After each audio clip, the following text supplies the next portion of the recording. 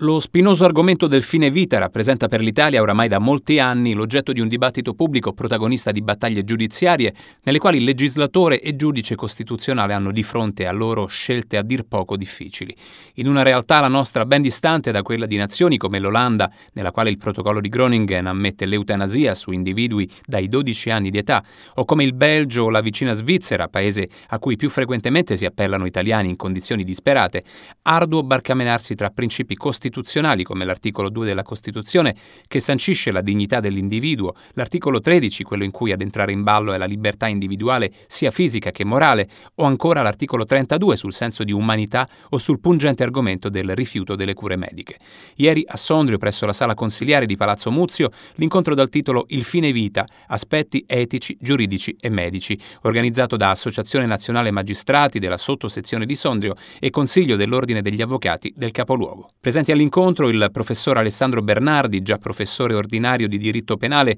e diritto penale europeo presso il Dipartimento di Giurisprudenza dell'Università degli Studi di Ferrara, e il dottor Luciano Orsi, medico palliativista e vicepresidente della Società Italiana di Cure Palliative. L'Italia è ancora all'inizio di un percorso che, di cui non si conosce esattamente la fine, è un percorso iniziale in cui per la prima volta con la sentenza 242 del 2019 19 della Corte Costituzionale si ammette la legittimità di un aiuto a morire che non è soltanto una sottrazione di cure salvavita ma è anche l'ammissione in casi però oltremodo circoscritti di sostanze anticipatrici della morte. Un paese, il nostro, nel quale non mancano gli esempi legati a vicende emblematiche e che accendono i riflettori su un tema verso il quale questioni mediche si intrecciano a morale religiosa e dignità dell'individuo. Basti pensare alla vicenda dell'attivista Pier Giorgio Welby,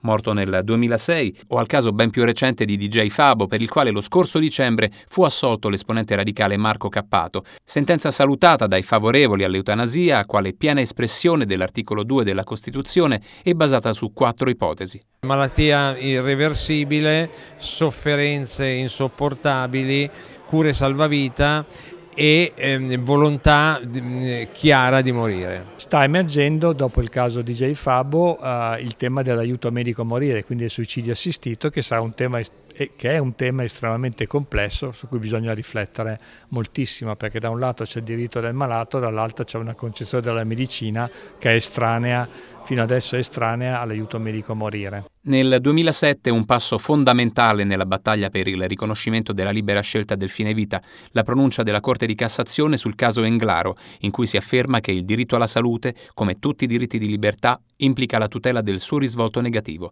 il diritto di perdere la salute, di ammalarsi, finanche di lasciarsi morire.